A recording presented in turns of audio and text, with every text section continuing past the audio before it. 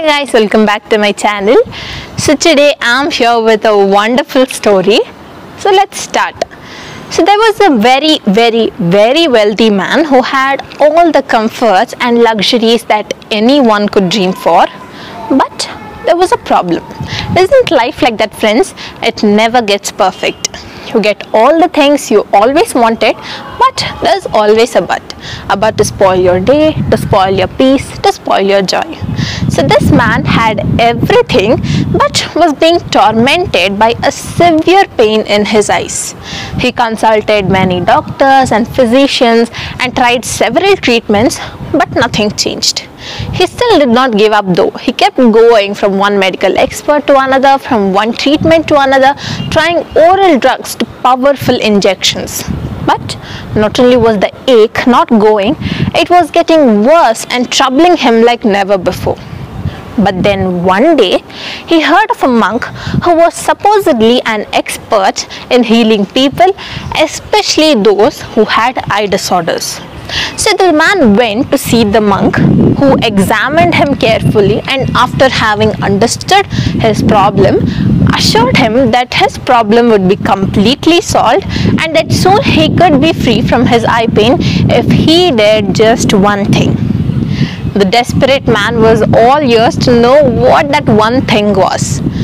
The monk told him that all he would have to do was for a couple of weeks he would have to concentrate his eyes only on green colors and to not allow his eyes fall on any other colors at all.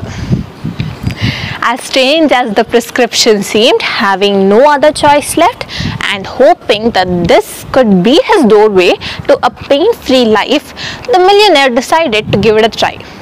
He hired a bunch of painters who brought along barrels of green paint and painted each and every object to make sure that his eyes were likely to fall on green. After a few weeks, the monk was passing by the rich man's home and decided to pay him a surprise visit just to check how he was doing.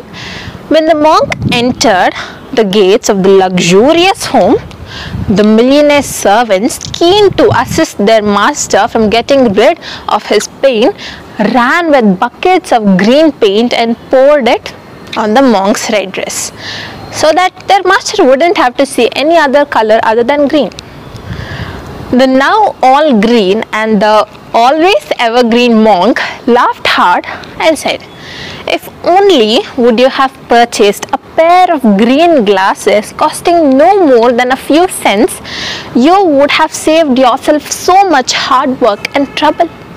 You would have saved all the money you spent on the paint. You would have saved all these walls, the expensive furniture and antiques and everything else around.